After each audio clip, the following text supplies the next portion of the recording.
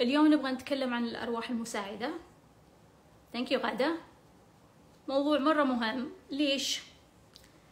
لأنه لما تجيك الصدمة في فرق ما بين شخص صارت له الصدمة. إحنا قلنا إذا إذا أنت داخل في نظام صدمة وصدمة جاية جاية ولا حد رادها عاد الشكوى لله وقعت وطاحت و...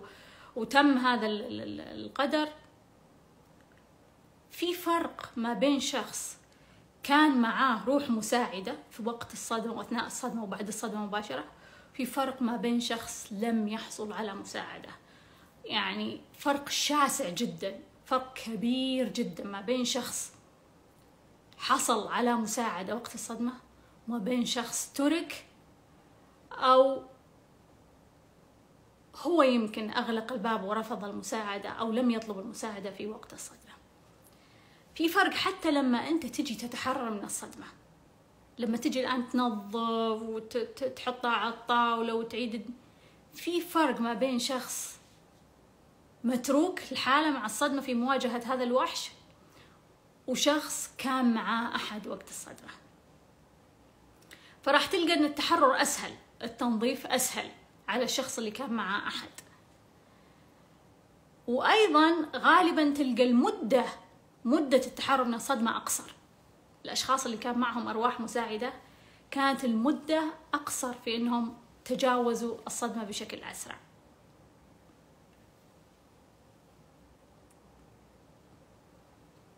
طيب هو السؤال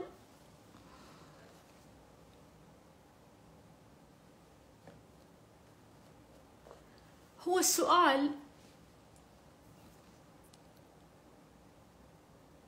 هو أنت طايح الآن. نفترض أنه في صدمة وأنت طايح. وضعك جدا مزري. أنت ليش ما تطلب مساعدة هالسؤال الآن. أنت طايح وحالتك حالة وتعيش في صدمة. ليش ما تطلب المساعدة ليش الأشخاص اللي يوم من الأيام ثانك يو مروا بصدمة ولا كان عندهم أشخاص مساعدين ليش ما طلبوا المساعدة؟ هذا سؤال لازم نجاوب عليه اليوم. ليش في أشخاص ما طلبوا المساعدة وقت الحاجة؟ خلنا نقول لك أبرز الأسباب اللي تخلي الأشخاص لا يطلبون المساعدة وقت ما هم في غاية الحاجة لها. أول سبب شعور الكبرياء. الكبر. إذا كان الإنسان تقوده مرحلة الكبرياء أو يمر في حالة كبرياء. صعب جدا إنه يطلب المساعدة. صعب يحس إنه ينكسر. يحس إنه هو يعني باني إيمج معين وباني يعني شيء يعني كثير فانسي كذا خمس نجوم. بعدين يطلب المساعدة يحس إنه صار أبو نجمة ونص.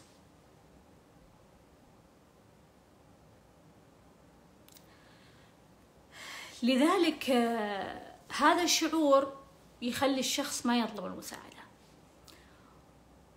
ومرات حتى لو هو كان مصحصح وما هو في حالة صدمة ياخذ المساعدة بطريقة ملتوية. عرفت؟ يخلي إنه أنت من مصلحتك إنك أنت تساعدني. عشان ما يقول لك أنت ساعدني أو عطني هذا الشيء أو أخدمني أو أنا أحتاج مساعدتك.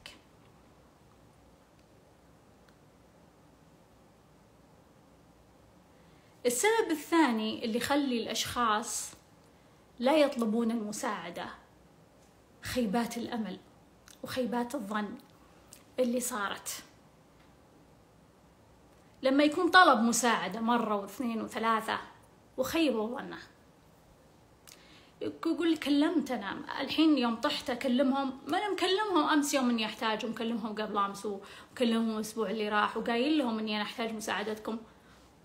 وخيبوا ظني خيبوا. قالوا لي إيه وكذا وبعدين مشوا الموضوع وبعدين سكتوني وبعدين. فأنا أعرف إنهم أصلا ما راح يسوون شيء.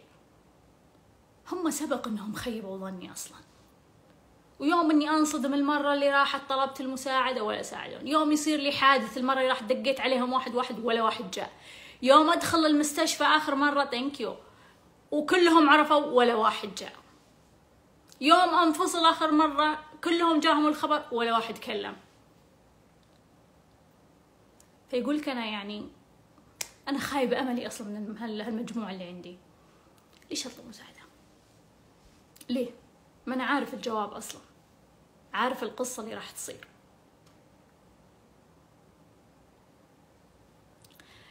الشيء الثالث اللي يجعل الشخص لا يطلب المساعدة برنامج. برنامج يعني طريقة حياة. يعني مرات أنت تتربى في أسرة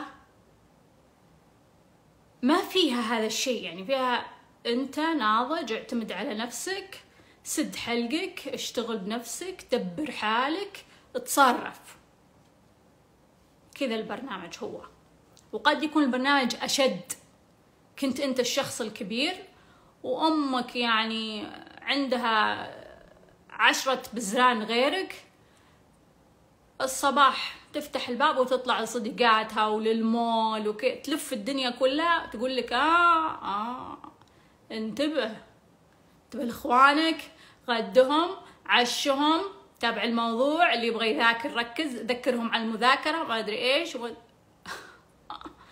يعني هل تتصور أنه هذا الابن الكبير يوم من الأيام يستطيع أن يطلب المساعدة؟ ما يقدر. البرنامج كذا متركب ما يقدر أنت تطلب مساعدة. طبعا لا أنت اللي تساعد طول الوقت. أي أي تطلب المساعدة أصلا غير مقبول إنك تطلب المساعدة يعني لو جت أمه وقال لها شوفي ترى واجب الرياضيات صعب ودي تساعديني فيه.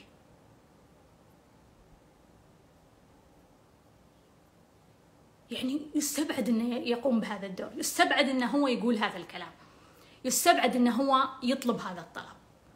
لأنه خلص هو انحط في برنامج إنه أنت اللي تساعد أنت لا تطلب المساعدة. فيكون هذا هو البرنامج اللي هو متورط فيه. فمرات إحنا نكون ضمن البرنامج هذا عشان كذا إحنا ما نقدر نطلب المساعدة. لكن أبغى أذكرك إنه لما تكون في أزمة لما تكون في صدمة لما تطيح أحد أهم الأشياء في مثل هذه اللحظة اللي ممكن تنقذك من الاكزت حقت الحياة. ممكن تنقذك من سقوط أحد الأجساد ممكن تنقذك من المرض. ممكن تخفف عليك وطأة الصدمة بدرجة كبيرة جدا إنك تطلب المساعدة. طيب تسألني تقول أطلب مساعدة من مين؟ من مين أطلب المساعدة؟ خليني بعطيك نماذج الأشخاص اللي ممكن تطلب منهم المساعدة. الشخص اللي يكون متاح وقت الصدمة. يعني صارت الصدمة وهو موجود حاضر لهذه الصدمة. صارت الصدمة وهو حاضر للصدمة. لأن أحد الاحتمالات أن وجوده في هذا الموقف درس ورسالة له وعنده دور أنه يقدمه. فهذول أحد الأشخاص. أحد الأشخاص. يعني كنت في الشارع وجالك شيء وفي شخص هو اللي طلع قدامك ما تدري هو مين؟ قل له لو سمحت. ممكن تساعدني. اتصل بالمستشفى اتصل كذا افعل كذا صلح كذا. قد يكون هو الشخص اللي موجود إن قدر مرتب الموضوع بطريقة انه هو يكون موجود في مكان الصدمة لأنه هو روح مساعدة. فهذا احتمال كبير. انه الشخص المتوفر في مكان الصدمة. الشخص الثاني اللي تطلب منه المساعدة اللي يسأل اللي دايما يسألك يقول محتاج شيء محتاج مساعدة إذا محتاج شيء دق علي إذا محتاج أي شيء عطني خبر. ها لا ينقصك شيء علمني. إذا تبغاني تراني متاح طول الوقت. شفت هذول الأشخاص اللي طوال الوقت هم يذكرونك. Thank you دكتور خالد الماس. اللي طوال الوقت يذكرونك إذا احتجت شيء تراني موجود. أيضا هذول الأشخاص وقت الصدمة لازم تتذكرهم. لازم.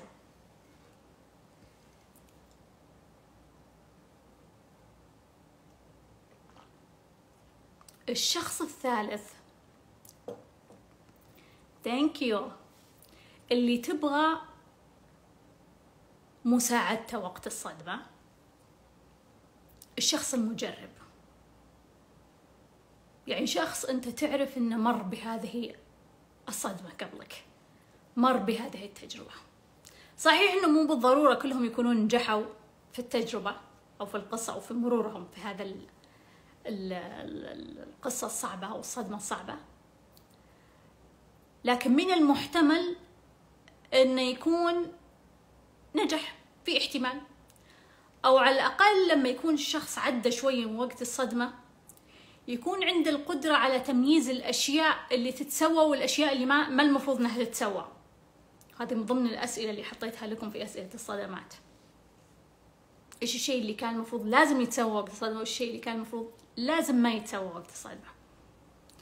قد مو بالضرورة يكون يعرف يطلعك من كل القصة بس على الأقل يقدر يحكي القصة اللي هو مر فيها. مجرد معرفتك للقصة هي نوع من المساندة المشاعرية وقد يكون فيها بعض الالتفات لبعض الدروس اللي أنت تحتاجها. هذول أبرز ثلاثة أشخاص لازم تركز عليهم وقت الصدمة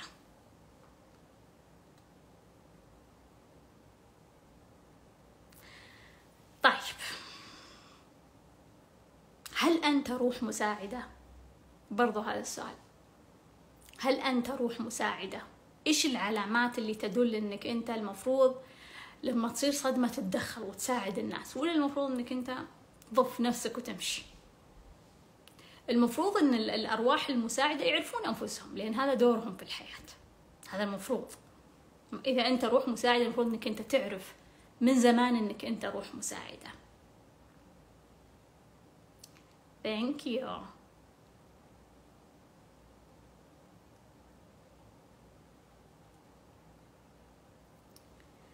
طيب.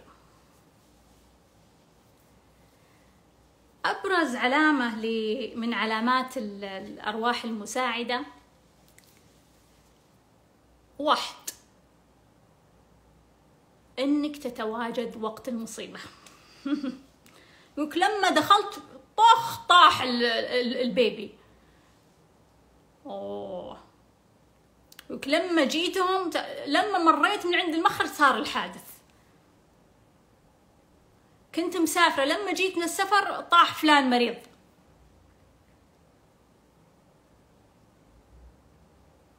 جاء يوم دخلت عليهم في الدوام جاها الخبر التعبان. بس دخلت قلت صباح الخير جاها الخبر يعني كان في كذا لحظة إنه أنت توصلين أو أنت توصل بعدين يجي الخبر.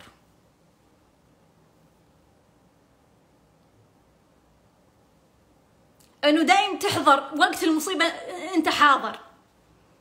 أنت حاضر. تحضر المصاعب. طيب يعني ان روحك قادرة ويعني إن عندك دور أيضا. عندك دور يعني. بالطبيعة كذا بتقول وش أسوي؟ خلني أسوي كذا وش اللي أقدر اسويه وش ممكن أساعد فيه؟ إيش ممكن أقدم؟ فقد تعني أيضا هذه إشارة أو علامة إلى أنه أنت روح مساعدة.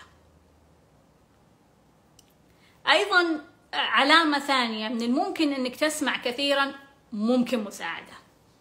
ممكن تساعدني. يلجؤون لك الناس ويطلبون المساعده هذه أيضا أحد العلامات.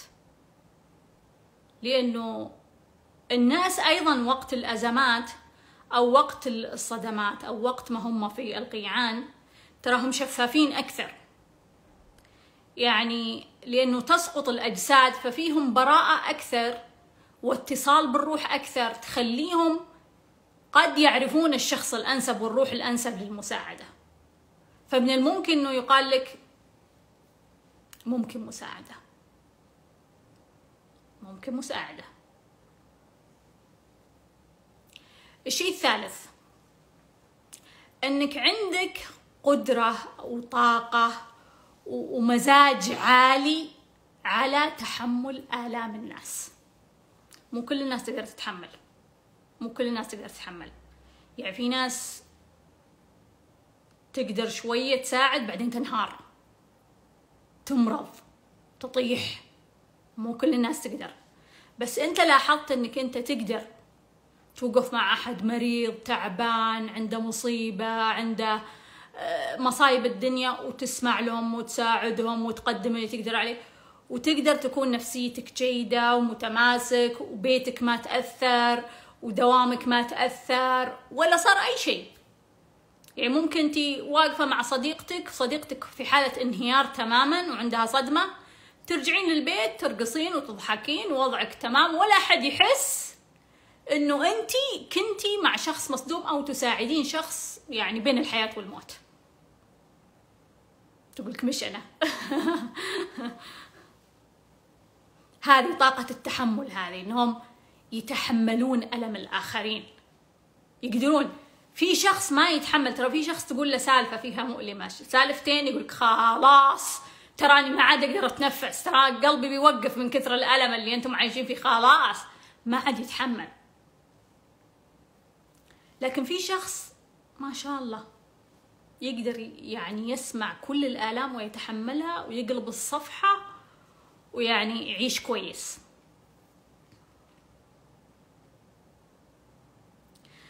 أيضا علامة رابعة من العلامات إنك روح مساعدة إن يكون عندك أداة وغالبا أداة مادية سهلة عليك. مثل اليد أو اللسان أو المال. غالبا الثلاثة هذه. تكون واحدة فيهم عندك قوية وسهل إنك أنت تقدمها. يعني سهل تسوي أشياء سهل تخدم بيدك أو سهل تقول سهل. ما أدري من وين طلع الكلام بس إنك تقول كلام جيد توا... تقدر تواسي الشخص المصاب بواساة أوف! يعني خطبة عصماء وأنت تقول ما حضرت. توها صارت الصدمة قدامي وقلت كلام خطير و... وهدأوا ويعني ما شاء الله عليهم. يعني تقول حتى أنا لو صارت لي صدمة ما أقدر أقول نفسي هذا الكلام. فتحس إنه أوه في أداة عندك قوية. أو يدك. يدك إنك أنت تقدر تمسك تقدر تصلح تقدر تحط يدك تقدر تحس إنه يدك تساعد تقدم المساعدة أو المال. يعني تحس إنه في أي لحظة تقدر تدفع وتحس دائما إن أموالك فيها بركة إنها تصلح الأشياء الغلط تصلح الأشياء التعبانة تصلح الأشياء اللي فيها مشاكل. آخر علامة أبغى أقول لها إنك أنت من الأرواح المساعدة إنك تقبل أن تعطي بلا مقابل. عادي عندك إنك تعطي بلا مقابل. لأن مو كل الأرواح تقدر تعطي بدون مقابل بعض الأرواح لا تنتظر. لا أنا الآن قدمت المفروض يعني يرجع لي. ننتظر. عادي أنت تقدر تقدم بدون مقابل. للمكسورين يعني والضعفاء هذول عادي تقدر تقدم بدون مقابل.